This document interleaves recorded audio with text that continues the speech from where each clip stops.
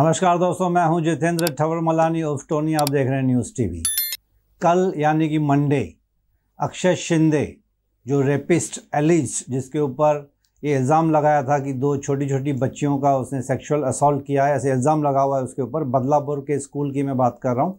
अगस्त second week पंद्रह या सोलह तारीख को ही वॉज़ अरेस्टेड कल उसका एनकाउंटर में ही वॉज़ किल्ड अब एनकाउंटर कैसे हुआ, क्यों हुआ, मैं धीरे धीरे आपको सब बताऊँगा। पहले मैं अक्षय शिंदे का थोड़ा सा बैकग्राउंड बता दूँ आपको।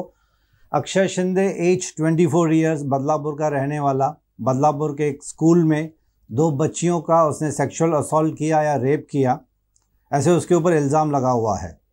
दो छोटी बच्चियाँ स्कूल की प्री प्राइमरी स्कूल की बच्चियाँ, यानी कि एज मेरे ख्याल से तीन चार साल की होगी उनकी।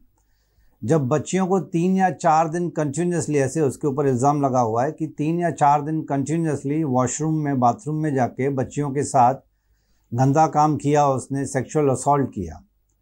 बच्चियों को जब अनकंफर्टेबल फील हुआ सॉरी टू से दिस जब प्राइवेट पार्ट्स में बच्चियों को कुछ अनकंफर्टेबल फील हुआ, जब इंजरीज हुई तो उन्होंने अपने माँ बाप से शिकायत की। माँ बाप ने स्कूल वालों से जाके शिकायत की। इस बीच में मेडिकल टेस्ट भी करवाया बच्चों, बच्चियों का माँ बाप ने। ऑब्वियसली जब बच्ची, छोटी सी बच्ची जब कंप्लेंट कर दे कि प्राइवेट पार्ट में कुछ तकलीफ़ हो रही है तो माँ बाप डॉक्टर के पास ले गए। डॉक्टर ने कंफर्म भी किया कि ये बच्ची is sexually assaulted continuously for three two four days that's why she has developed some injuries in the private parts मुझे बोलने में भी थोड़ा दुख एंड अच्छा नहीं लग रहा, लेकिन बताना पड़ेगा ऑडियंस को। एग्जैक्टली क्या हुआ था? पेरेंट्स गए स्कूल के पास कि आपके स्कूल में इस तरह से हुआ है we want CCTV footages but school की अथॉरिटीज़ प्रिंसिपल एंड दूसरे सीनियर अथॉरिटीज़ ने मना कर दिया कि सीसीटीवी फुटेज हमारे पास नहीं है एंड पेरेंट्स uh, का ये एलिगेशन है स्कूल अथॉरिटीज़ के ऊपर कि स्कूल अथॉरिटीज़ ने कॉपरेट नहीं किया ना ही पुलिस एफआईआर लॉन्च किया। हालाँकि it was duty of the police अपना ये what we say principal and the school authorities to immediately launch the police complaint because it was a serious matter but anyhow जब लोग सड़कों पे उतरे, आपको देखा होगा आपने न्यूज़ चैनल्स में कि बदलापुर वॉज़ पूरा टोटली बंद वाली सिचुएशन थी। स्टेशन पे रोड्स पे पब्लिक का जमा हो जाना। इसके बाद पुलिस ने जब एफ़ आई लॉन्च की the matter was handed over to the special investigative team special investigative team से पता चला, सीसीटीवी फुटेज वगैरह देखा उन्होंने एंड ऑन सेवनटीन अगस्त के आसपास the alleged culprit Mr. Akshay Shinde was arrested and he was put in police and judicial custody अपना Taloja jail में उसे रखा गया था तलो, तलुजा जेल में कुछ दिन गुजारने के बाद, अक्षय शिंदे की जो सेकंड वाइफ कहा जाता है, उसने कंप्लेंट लॉन्च की बोईसर पुलिस स्टेशन में, अक्षय शिंदे के अगेंस्ट में। अक्षय शिंदे के अगेंस्ट में, अक्षय की जिसकी एज 24 फोर ईयर्स है, और कहा जाता है कि जो लेडी ने कंप्लेंट की थी उसके अगेंस्ट में, वो सेकंड वाइफ थी अक्षय शिंदे की। यानी कि 24 साल की उम्र में उसने दूसरी शादी भी कर ली। उसकी वाइफ का अक्षय शिंदे के ऊपर ये कंप्लेंट था कि he used to have unnatural sex with her तो वो कंप्लेंट की इन्वेस्टिगेट करने के लिए बदलापुर की कंप्लेंट में लॉन्च की थी उन्होंने वहाँ पे स्टेशन में। तो एसआईटी की टीम तलुजा जेल से मंडे के दिन शाम को साढ़े पाँच बजे आठ या दस पुलिस वालों के साथ अक्षय शिंदे को एस्कॉर्ट करके लेके जा रहे थे पुलिस स्टेशन क्यों? क्योंकि उसकी सेकंड वाइफ ने उसके अगेंस्ट में कंप्लेंट लॉन्च की थी। यहाँ पे थोड़ा सा मुझे अटपटा लग रहा है। हालाँकि बहुत सारे अपोजिशन पार्टीज़ वाले भी इस बात को मान रहे हैं कि ये एनकाउंटर वॉज़ प्लान उस पर मैं आगे थोड़ा सा आ जाऊँगा। उससे पूछताछ करने के लिए तलुजा जेल से शाम को साढ़े पाँच बजे आठ या दस पुलिस वाले अक्षय शिंदे को पुलिस वैन में लेके जा रहे थे।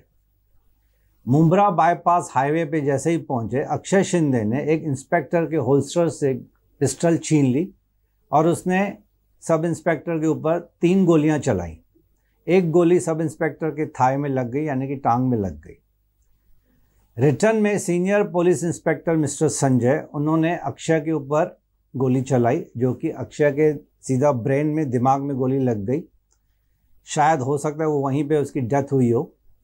तो anyway he was Akshay was immediately taken to the nearest hospital Kalwa की किसी हॉस्पिटल में ले गए where he was declared brought dead dead body को पहुँचाया गया जे जे हॉस्पिटल में फॉर पोस्टमार्टम। अब ये जो संजय है, कहा जाता है कि जिसने अक्षय शिंदे के ऊपर गोली चलाई, संजय यानी कि सीनियर पुलिस इंस्पेक्टर, ये कहा जाता है कि वो किसी टाइम पे प्रदीप शर्मा के साथ एज एन असिस्टेंट इंस्पेक्टर काम किया करता था। प्रदीप शर्मा जो एनकाउंटर स्पेशलिस्ट माना जाता था।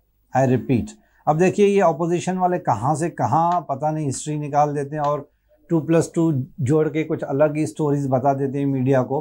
तो मेरी भी जो रिसर्च की मैंने भी यहाँ से यूट्यूब के कुछ वीडियोस देखे, कुछ गूगल सर्च किया, कुछ न्यूज़पेपर पढ़े तो पता चला कि जो संजय जिसने गोली चलाई अक्षय शिंदे के ऊपर एनकाउंटर में that Sanjay senior police inspector used to work under mister Pradeep Sharma the encounter specialist अब कांग्रेस वालों का या फिर दूसरे अपोजिशन पार्टीज़ वालों का ये आपस में जोड़ना है कि ये एनकाउंटर वॉज़ प्लान्ड ताकि ये जो रेपिस्ट है, उसको उड़ा ही दें। इसके ऊपर कोई केस वेस चलेगा, लंबा खींचेगा, जैसे नॉर्मली होता है। तो पब्लिक का प्रेशर भी बहुत था। ऐसे एलिगेशन लगाई हैं अपोजिशन पार्टी वालों ने। और ये भी कहा जाता है कि जो अक्षय शिंदे की माँ है, अलका शिंदे, उसने भी कहा है कि ये एनकाउंटर वॉज़ प्लान मेरे बेटे ने रेप किया नहीं है, मेरे बेटे ने सेक्सुअल असॉल्ट नहीं किया है। उसका तो ये भी कहना है कि जो अक्षय शिंदे यानी कि मेरा बेटा, अलका शिंदे ने उसकी माँ ने कहा है कि मेरा बेटा इतना डरपोक था कि दिवाली के टाइम पे वो क्रैकर्स की आवाज़ से ही डर जाता था। मैं उसे स्कूल में छोड़ने और लेने के लिए दिवाली के टाइम पे मैं खुद जाती थी because he was very afraid of noise of crackers ऐसा अलका शिंदे यानी कि अक्षय शिंदे की माँ का कहना है। क्या हर माँ तो कभी ये मानेगी नहीं कि उसका बेटा रेप किया है या उसने कुछ गलत काम किया। बट उसकी माँ ने एक और स्टेटमेंट दिया है कि ये जो कुछ भी हुआ है, वो प्लान्ड मर्डर है। पुलिस ने जानबूझ के मेरे बेटे को एनकाउंटर में मार मार दिया है। इट वॉज़ टोटली प्लान फिल्मी स्टाइल में। अलका शिंदे यानी कि उसकी माँ का ये भी कहना है कि अगर मेरे बेटे ने कुछ गलत काम किया भी है तो ही डिज़र्व्स टू बी एक फेयर जस्टिस मिलना चाहिए था उसको, भले उसको फांसी लगा देते, उसको जेल में डाल देते, लेकिन वो टोटल लीगल प्रोसीजर के हिसाब से चलता तो अच्छा था। खैर, अनिया, अब ब्लेम गेम तो स्टार्ट हो ही गया है। अपोजिशन वालों को, ऐसे बीजेपी वालों का कहना है रूलिंग पार्टी में अभी शिवसेना और बीजेपी है महाराष्ट्र की। अब एक दूसरे के ऊपर इल्ज़ाम लगा रहे हैं, वो सफ़ाई दे रहे हैं, वो इल्ज़ाम लगा रहे हैं, ऐसे नॉर्मली तो होते रहता है। लेकिन दोस्तों, जो कुछ भी हुआ, बहुत गलत हुआ। गलत मैं उसके लिए कह रहा हूँ क्योंकि अक्षय सिंधे ने बच्चियों के साथ रेप किया। रेप तो इट सेल्फ इज़ वेरी गलत। किसी के साथ भी रेप नहीं होना चाहिए, लेकिन छोटी छोटी बच्चियों के साथ इतना पता नहीं कैसे लोगों का दिल होता है। इसके लिए एक गंदा और साइको कैरेक्टर ही होगा कोई ना कोई। तो खैर अनिया जो कुछ हुआ, अब, काफ़ी लोग तो मिठाइयाँ बांट रहे हैं कि एक रेपिस्ट की डेथ हो गई। इमीडिएटली इंसाफ मिल गया। ये सब चीज़ें होती रहती हैं। इसकी तुलना अभी यूपी के साथ भी की जा रही है, क्योंकि यूपी में भी ऐसे ही कुछ केसेस हुए हैं, जो रेपिस्ट को इमीडिएटली उड़ा दिया एनकाउंटर में या whatever the reason could be